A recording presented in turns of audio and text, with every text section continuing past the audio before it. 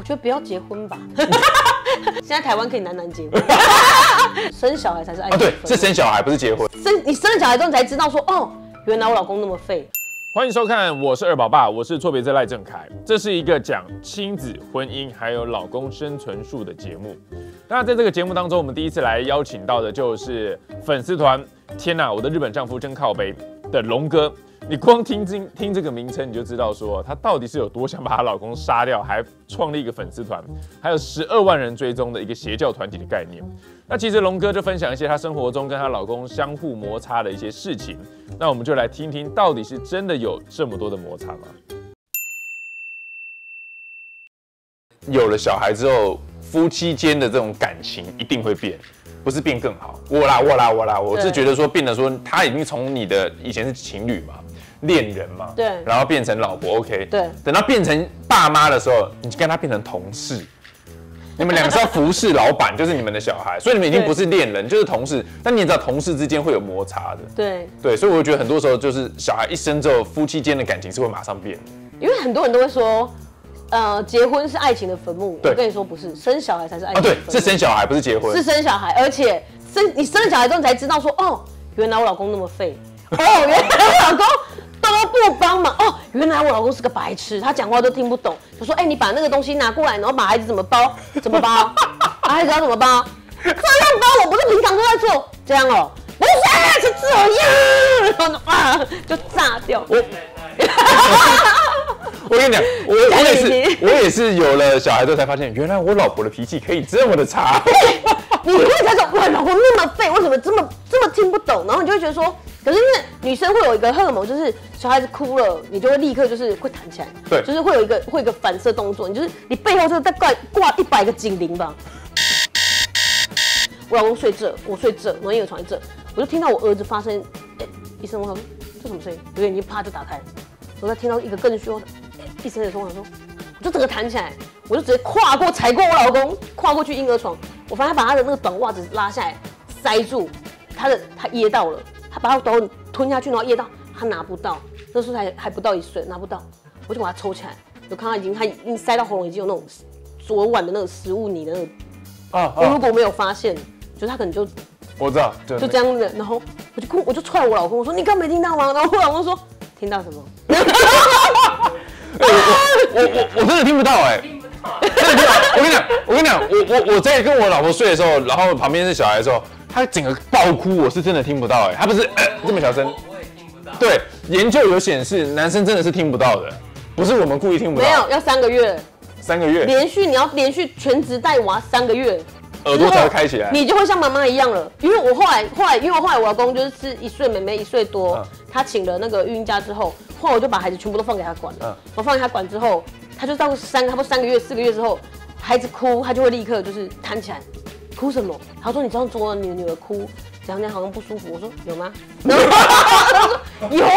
我说是吗？然后我说是啊。所以我现在睡觉的时候，阿姨你在讲讲。所以我现在睡觉的时候，我就跟我就戴耳塞。我觉得我现在睡觉睡不好，我戴耳塞，我跟我说，哎，听一下小孩啊，我要睡觉。我跟你讲，我跟你讲，我跟你讲，如果今天你给老公带小孩，要不就是三个月他会开启耳朵的这个耳膜，要不就三个月小孩会变自动睡过夜。对孩子可能自己也放弃挣扎，啊，快点啊！这个老北京叫包肉啊，睡困，紧捆，紧捆这样对。他们就放弃了。对。那你们后来再回来之后，从月中心回来之后，你们开始变成就是一家四口，对对吧？对那你们你们因为多了一个，你有没有觉得小孩的这个照顾的分量不是乘以二，是乘以三四五六？有那时候我老公还蛮天真，那时候因为因为我后期肚子很大，然后就是会没有办法没有办法很好动，我可能搬东西怎么叫我老公搬，我老公说哇你赶快把孩子生出来之后，他就可以比较轻松，他就不用帮我搬东西。我说傻孩子，你当初哥哥还在我肚子里面的时候，你觉得我待在我肚子里面轻松，还出来之后轻松了？我说完了，所以他回来之后变成是他要负责顾哥哥，嗯我要负责顾妹妹，听不懂婴儿哭什么。然后因为不是一个哭声而已嘛，没有，他就是就是说娃没有哭你，你是肚子饿，哭你还是尿布什么，有没有？怎么你们怎么听得出来啊？我是我是真的由衷听不出来，你看他大概算一下，大概说，哎、哦用时间来推对因。为他现在已经不是肚子了，他刚吃过，他怎么可能会？哦他可能刚吃过，哦，那现在可能应该是胀气，他可能需要拍嗝，或者他可能是需要什么？你妈妈会知知道说，只要先排除吃饭的时间之后，你就看他自己是尿布或是胀气了嘛，或想让人家陪，想让人家摸，就是这种。哦对，他如果他只是想让人家抱，我就把它抱一抱，抱拍拍拍。可是这一只这一只算好顾的，但有时候、就是可爱，他到现在都没有没有吵没有闹，哎，但很长得乖很可爱。它很乖，可是它小时候就是喜欢人家黏在人家身上，所以我就说我我儿子我女儿是我的护鱼旅，我们是护鱼旅兄弟，你知道吗？他就一直黏在我肩上，我一直拍，一直拍，我拍到我老公就已经已经下就是加班回来了。他，你女儿怎么还在你肩膀上就不睡这样？我说我们就是护鱼旅兄弟，这样我们是一个组合。对啊，他就是不睡啊。可是他就是他会，因为我老公听不懂孩子哭的声音是什么，所以前六个月其实都是我在带他的，嗯就是几乎都是我带他，所以那六个月都是我老公在带大宝。没有下次了，我我已经两胎就差不多了，我都已经跟你讲说我要考虑去结扎了，怎么可能在第三胎对？那你会想生第三胎吗？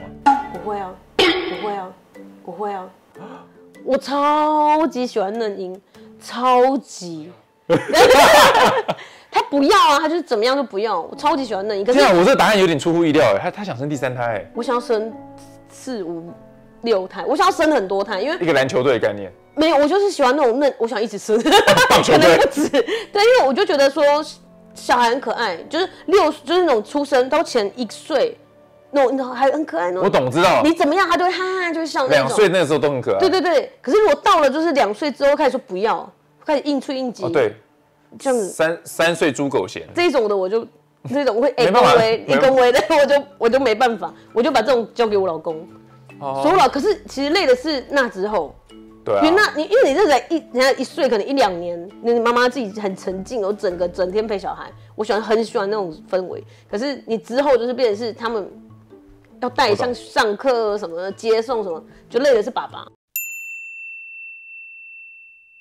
你的朋友他想要生小孩，但他不知道该不该生的话，你会给他们什么建议？我觉得不要结婚吧，不是我就可以结婚，那生小孩就要三思。真的生小孩三思，我现在就是很多朋友要结婚，什么我就说不要结婚，他说为什么不要结婚？结婚很棒哦，我只要不生小孩就好。我说我告诉你没有这件事，你的长辈就会说啊应该生啊啦，啊哦你生了一个之后，哦对对对对你生了一个之后就说该生第二个了啦，真的第二个说我看他三个三个没办，啊你应该没处了吧？然后我只说干你干你屁事哦，就是一堆事情，就是所以我就跟我朋友说，你只要挡在结婚。他们就越来越失望，越来越无望，他们就不会逼你生小孩。哦，你不要让他有一步一步的机会。对对对对对对，你不要迈到下一步。哦对啊，不然我阿妈就说啊，你就了解。哎、哎你这个想法我觉得不错哎。对啊所以因为我以前是觉得说你可以结婚啊，反正结婚真的我觉得没什么没什么了不起。对但是就是小孩你要三思。那如果你在结婚这边挡掉，反正你们是同居，你们是在一起干嘛？对啊，对啊，对啊，可能是有一你找一堆理由，找一堆理由说啊，因为什么样彼此还没有很想要结婚，或是对方男生怎么样怎么样。可是，一结婚之后，他们就觉得说啊，你也稳定了，不管什么钱，孩子会带钱来。对，哦，all the time，孩子会带钱来呀、啊，你免惊，今麦无钱马紧啊，不要等到稳啊，你老你的什么什么背劳加油什么的，对，我知道。很爱讲这我们就比气场，看是你先挂还是我们先。因对，为我觉得很多时候是外界的声音会，就算你今天很坚定，你的另一半可能会被洗脑。对啊，就是那就会变得很麻烦。对对对，那我想问说，因为你们现在是你跟你的老公，你的老公是日本人，对你是台湾。那如果他真的想要嫁一个日本老公的话，你会有什么建议吗？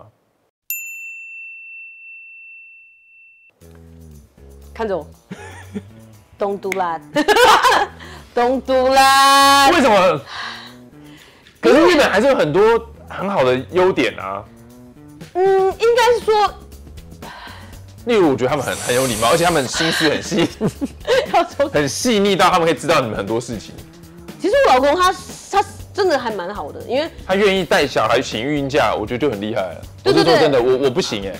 而且因为很多其实很多日本男生，就是我认识的日本男生，他们就算他们其实真的不请育婴假，因为日本真的对于育婴假，你会你哦我懂敢请，我懂你敢请，公司文化，对对对，它是一种社畜文化，所以说他没办法。那可是如果他你请了，请了之后，我也你你只有看到这里有一个新闻，就是三胞胎的那个新闻，就是请完之后回来就没了。没有没有，他就没有他就请完，他就请，但是他在家里他就是不带不带小孩，就那妈妈就崩溃，就忧郁症。哦，就这个新闻在那时候日本就是嗯，反正就是闹还蛮大的。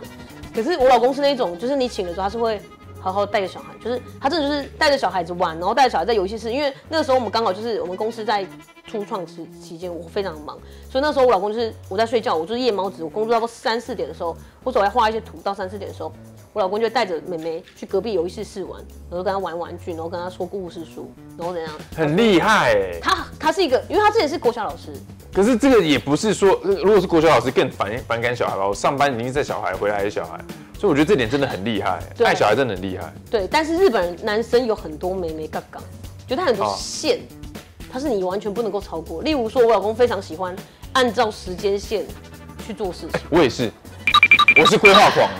我我连假日我都会有一个表格，然后就贴在冰箱，告诉我老婆说几点几分要干嘛，几点几分要干嘛。对，就是我有时间，几点几分打 NBA，然后接下来去健身，然后几点要带小孩出去怎么，我会我会有一个时间线。你放过你老婆啊，人生多苦啊！有规划，你才可以完整有效的去控制所有的时间呢、所以我老公很讨厌我，就是你知道，那一天我老公可能今天早上说啊，好，明天早上我们今天几点要出门，然后几点要去那间餐厅要吃什么什么，然后我就会说我起不来，我要再多睡一点，我昨天太晚睡了。我老公说，这今天的事你应该昨天就要知道，啊这这这这，啊这这这，为什么不规划？对，为什么不让？我说我现对啊在就是起不来，不想起床。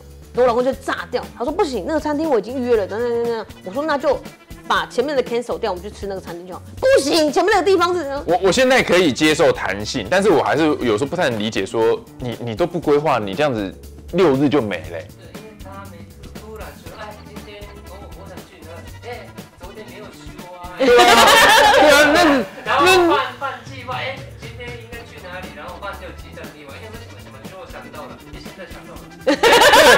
说为为什么为什么要怎么会现在？就是我就有时候这样说，我就不能接受，你知道吗？所以我我会我的我有个形式就要放我包包里面，我写超满的，我每天都要规划很多时间呢、好，你跟我老公当地原地结婚好不好？我们两个就我就好庆幸好庆幸她不是女的，不然我就把她娶回家。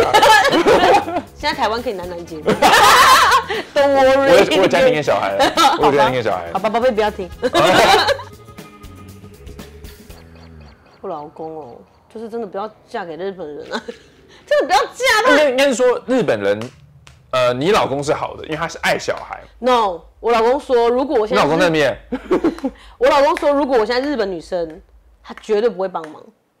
因为我不晓得那个需要帮忙到哪里，因为我是他是是外国人嘛。哦对，如果他是日本人的，有我有可能我不会多一点都没没有帮忙。他应该就会像他朋友一样，回到家就是躺躺着，就是什么都不做，完全不做。就是真的吗日本男生真的是这个样子。真的？吗？所以我看那个日剧或漫画那种回到家就脱衣服在地上什么样子，就是走去洗澡这样。没有，我婆婆，我婆婆有一次真是把我吓到，就是应该还在交往中，然后我们就回到婆婆家，然后我公公就是回到家，他就站在门口。日本不是有那种下沉式玄关，就还会再上去一阶。我公公就站在那说：“我回来了。”然后我婆婆就必须咚咚咚咚咚咚咚从二楼拿拖鞋来给她穿，她才要上去。你懂为什么吗？我懂对，但是我老我然后我因为我老公就跟在后面，然后我跟在后面，就是我跟在后面，然后我公公上去之后，我这样转头看我老公，我想说你搞清哦，你不会特别插小梨。我老公说我自己拿，我自己拿，我自己拿。我想说你妈你妈给小，然后我想说我才不要理你嘞。对，就是这种。可是像他朋友，就是他在在他真的是都是育儿，都是他们认为那是女女生的事情。他们如果男生来帮忙，谢谢你，感激你，就是那种。你知道，是哦他会说哦，真的是谢谢，这是我原来是我分内的工作，因为工作已经这么忙了什么，那我没有，我那时候我老公回来，我就跟我老公说，来，你工作时间跟我们工作时间分，你八小时我八小时，剩下的时间就是你一半我一半，你顾儿子我也要我也要休息，因为没有所谓的下了班就是下班对。对，没有所谓你下了班干老师我还没下班呢、我不要。那我就想说我们就是要一半一半。所以那时候我老公是半夜就是边睡觉然后边拍拍拍拍，然后他就拍到这样就这样整个睡着。然后我就我回来就看到就是这样，我说好，那你就你们就继续睡，我就继续吃我便当，我没有理他，就是我完全没有要顾因为那是你的工作，因为对，因为那是啊是，啊个小孩然后哥哥看到我，看到妈回来了，然后爸爸已经睡着，他看到我就开始，嗯，要妈妈抱，我就把门这样关起来，不干我的事，我下班了，我就关起来去外面吃我的便当，看我的韩剧。其实夫妻之间啊，真的是生了小孩之后才会有这么多的摩擦。所以跟龙哥讲的一样，坟场不在于结婚，而是在于生了小孩，爱情才是进入坟场。很多时候我们可以知道说，像妈妈她听得出小孩子的哭声，刚刚有讲到，她可以从时间过去做了什么事情，现在做要现在要做什么事情，来判断这个哭声是大便还是想喝东西，还是要奶嘴。那对爸爸而言，真真的听不出来。所以我认为分工会是一个很好的方式。好比说，爸爸今天很喜欢做料理，那你就把副食品或者是做三餐的方式，呃，工作就丢给爸爸来做。那帮当爸爸在做这些做菜的时候呢，妈妈就不要在旁边去念他或是怎么纠正他。就算今天爸爸做的东西让小孩落塞，你也可以名正言顺的去骂爸爸，因为这是他分工的事情，对吧？再来，我也觉得说，有的朋友提到，分享也是一个不错的东西。夫妻之间有很多事情哦，当爸爸在做小孩的事情处理的时候，妈妈也是在处理的时候，会有很多小孩的共通话题。这时候分享就是很好的。好比说，今天女儿大了一个十五公分的大便，听起来很荒谬，但是对于夫妻之间听到就会觉得很有趣。所以，当你的另一半他一不断的跟你分享一些事情的时候，请你不要觉得他烦，也不要去排斥，因为真的是对你越爱的人，他才会去愿意分享很多生活的碎事。爱情的副产品就是聊废话，对不对？好了，如果你有什么样的方式呢，可以减少夫妻间的摩擦或者是升温的方式，你也可以在底下留言，我相信一定很多，跟我们一起来聊一聊。好了，我是二宝爸，我是错别字，我是赖正凯，我们下次见，拜拜。来，准备，主播就定位，我们准备进现场。好，收到。怎么口气味道这么重啊？啊，忘记我刚刚吃了韭菜锅贴，等等还要面对来宾，怎么办啊？还好我有水神漱口水，水神漱口水及时救援，有效抑制异味。哇，刚刚的异味都消失了。导播，我准备好了。水神漱口水呢，成分单纯无添加，帮助口气清新，维持口腔健康，而且有国家品质标章的认证。在你刷牙的时候、漱口的时候，都可以有效辅助清洁你牙缝间的死角。怎么买呢？中天快点购平台就可以买得到哦，而且是全通路独家贩售。记得输入我的推荐代码 CTI 零一零，会有优惠哦。